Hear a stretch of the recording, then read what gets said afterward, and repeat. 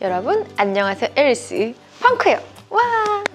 오늘의 주제는 뭘까요? 펑순이들의 옷장을 알차게 채워줄 그러면서도 또 여러분의 스타일 지수를 두 단계는 업그레이드 시켜줄 여름 필수 기본템을 알려드리려고 해요. 여름에 어떤 아이템을 기본적으로 갖추고 있어야 할지 그리고 또 그 스타일링은 어떻게 하면 좋을지 알려드릴 테니까 저 믿고 따라오세요. 띠디. 여름 필수 기본템 첫 번째 가디건. 여름에 반팔보다 얇은 긴팔을 선호하시는 분들 많으시죠? 햇빛에 너무 막 살이 따갑기도 하고 쌀쌀해 비 오는 날이나 실내에 들어가면 은 에어컨 바람 때문에 공기가 진짜 너무 차갑잖아요. 그럴 땐 패션 아이템이기도 하면서 신체 보호템으로 얇은 가디건은 정말 여름에 꼭 하나쯤 갖고 있어야 한다고 생각해요. 언니 그런데 그냥 긴팔 티셔츠를 입어도 되는데 왜 꼭 가디건이에요? 라고 물어본다면 가디건은 입고 벗기가 쉽잖아요. 일반 티셔츠나 아노락 같이 막 절반만 open closing이 가능한 옷은 아무 데서나 입고 벗기가 불편해서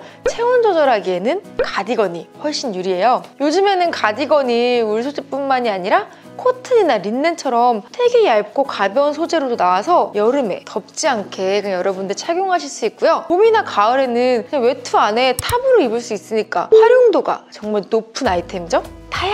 가격대와 스타일을 넘나들어서 거의 모든 브랜드에서 매년, 매 시즌 찾아볼 수 있는 그런 아이템이기도 하고 라운드넥, 브이넥 등의 넥라인, 컬러, 패턴, 길이까지도 정말 너무 다양해요. 심지어 단추 말고도 지퍼나 얇은 스트랩으로 여미는 가디건도 있어서 본인들의 취향에 맞춰서 고를 수 있는 선택의 폭이 어마어마하게 넓다는 장점도 있어요. 그럼 이제 얇은 니트 가디건의 스타일링을 살펴볼까요? 첫 번째로 슬리브리스 아이템과 매치하면 되는데요. 가디건의 장점이 그냥 여러분들 입고 벗기가 편하다는 점이잖아요. 그래서 슬리브리스 탑이나 원피스랑 매치해서 더울 때는 벗고 추울 때는 그냥 가볍게 툭 걸치면 되니까 실용적이죠? 저는 슬리브리스는 입고 싶은데 어, 좀 팔이 부끄러워요 하는 펑순이들도 슬리브리스 탑에 얇은 가디건을 입으면 노출 부담이 적은 스타일링을 할 수 있겠죠? 또 요즘에는 가디건이랑 슬리브리스 탑 세트가 많이 나오잖아요. 그런 아이템을 선택하면 은 inner를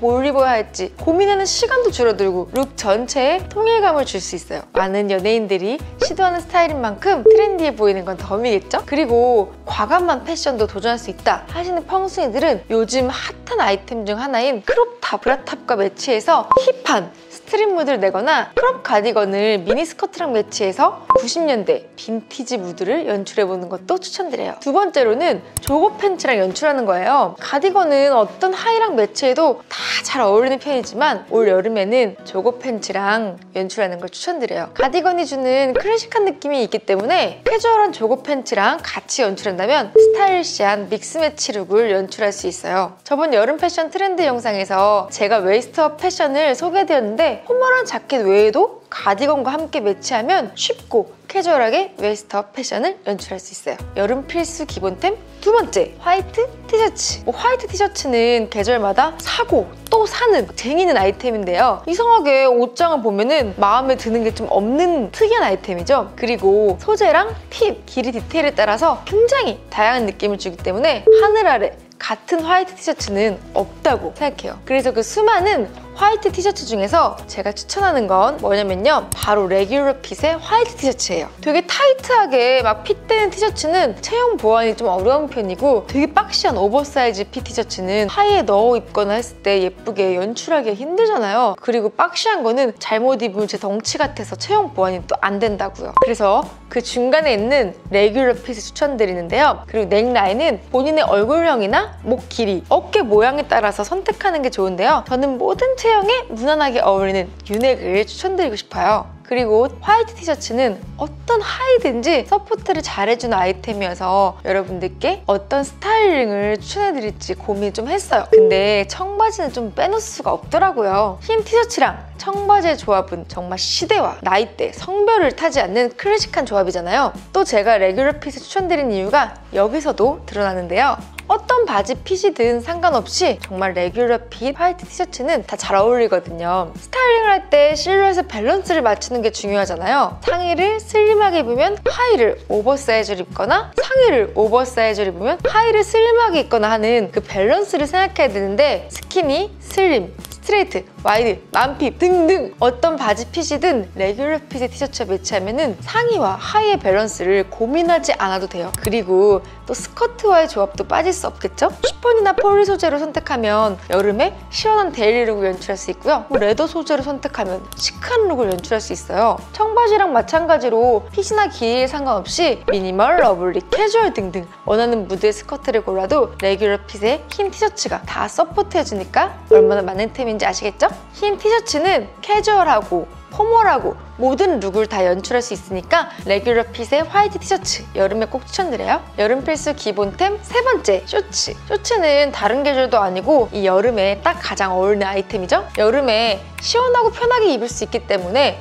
꾸준히 인기 있는 아이템이고요. 무엇보다 여름은 장마를 무시할 수 없잖아요. 장마 기간 때 외출하면 바지 밑단이 다 젖어서 찝찝한 거 아시죠? 그래서 저는 날씨가 좋으나 안 좋으나 필수템으로 쇼츠를 추천드리는데요. 인기가 많은 품목인 만큼 데님, leather, sweat shorts, bike shorts 등등등 다양한 스타일의 쇼츠를 찾아볼 수가 있어요. 요즘은 relax fit이 트렌드라서 길이도 너무 짧지 않고 바지의 통도 넓은 게 많이 나오더라고요. 특히 무릎 길이를 웃도는 기장은 허벅지가 두꺼워서 고민인 하체 통통 펑순이도 짧은 길이가 민망하다고 생각하는 언니 펑순이들도 충분히 소화가 가능한 길이에요. 그래서 제가 이 쇼츠는 어떤 아이템과의 조합이 좋은지 스타일링 알려드릴게요. 첫 번째는 샌들과 매치하는 거예요. 쇼츠가 운동화나 부츠에도 그냥 물론 다 잘 어울려요. 하지만 여름에는 샌들 힐이 쇼츠와 제일 잘 어울리는 조합이에요. 굽이 없는 샌들도 물론 좋지만 키작 옆펑순이나 통통 옆펑순이는 다리가 길어 보이는 치트키템이 좀 필요하잖아요. 종아리가 길고 발목이 가늘게 연출되면 전체적으로 비율이 진짜 좋아 보이거든요. flip-flop 형태의 샌들 힐을 신어주면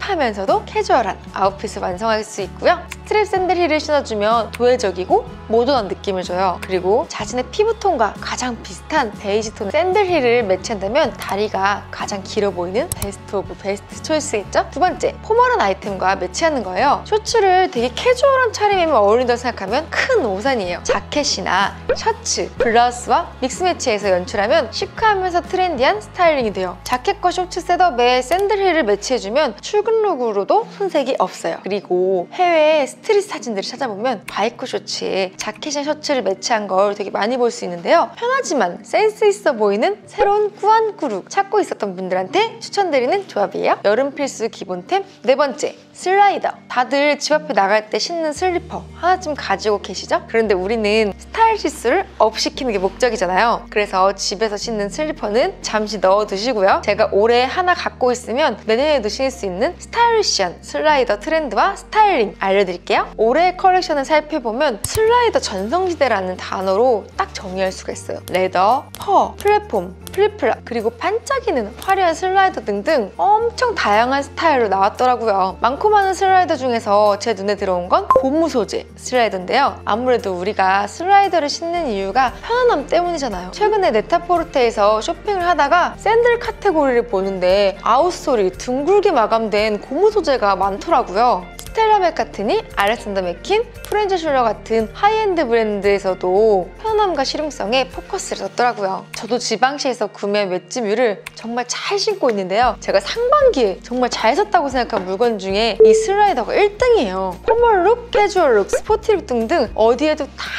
잘 어울려서 발이 시려워지는 늦가을 전까지는 주구장창 신을 계획이에요. 그럼 이제 slider를 어떻게 stylish하게 연출하는지도 봐야겠죠? 스타일링 첫 번째, 원피스, 스커트 랑 매치하기. 우리가 스타일의 완성은 신발이라고 할 정도로 신발에 따라서 무드가 확 바뀌잖아요. 우아한 느낌의 실크 원피스랑도 볼륨감이 있는 스커트와도 slider가 충분히 잘 어울려요. 오히려 이 slider 하나로 꾸안꾸 느낌을 낼 수 있어서 옷은 좀 깔끔하게 입고 싶은데 너무 멋낸 티는 내기 싫다 하는 날에는 이 slider만 한 게 없어요. 두 번째, sporty 룩으로 연출하기. slider를 가장 정석으로 즐길 수 있는 방법이 레깅스, 바이크 쇼츠와 매치하는 거라고 생각해요. 한 번씩 브런치를 먹 으러 가면 예쁘게 꾸미고 오시는 분들도 있지만 편하게 그냥 ball cap이나 bucket hat 딱 쓰고 레깅스에 slider 쿨하게 딱 신고 오시는 분들도 있거든요. 가끔은 그런 natural한 게 진짜 멋이 아닐까 라는 생각이 들 때가 있어요. 저도 인스타에 다양한 스타일의 사진을 자주 올리지만 특히 sporty 캐주얼을 올렸을 때 더 반응이 좋거든요. 그런 걸 보면 요즘 트렌드는